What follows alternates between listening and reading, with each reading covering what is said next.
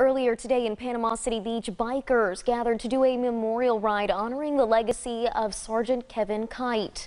Kight was killed in the line of duty while conducting a traffic stop in 2005. He served with the Panama City Police Department Panama City Beach Department, rather, for six years. The event is done twice a year, normally during both scheduled Thunder Beach events. The ride earlier this year was canceled due to COVID-19, and ultimately the ride today was canceled due to the rainy weather.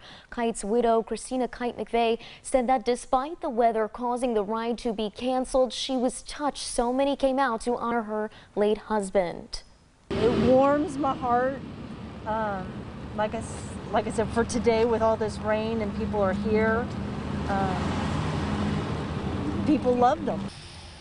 Despite the rain, there was some good that came out of the event. Both Christina and her son Brandon had noticed that Kight's Memorial on Front Beach Road now has an added monument. At the event today, they were able to find the person behind the latest addition. It was recent Arnold High School graduate Ross Smith who collected donations for his Eagle project to honor Kight. Josie Fioroli, owner of Biker Bulletin Board, was in awe of Smith's actions.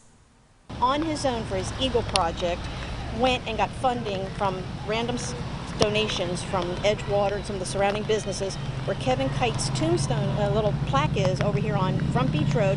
He went and built a monument on his own and it now stands in Kevin Kight's name. What an interesting story.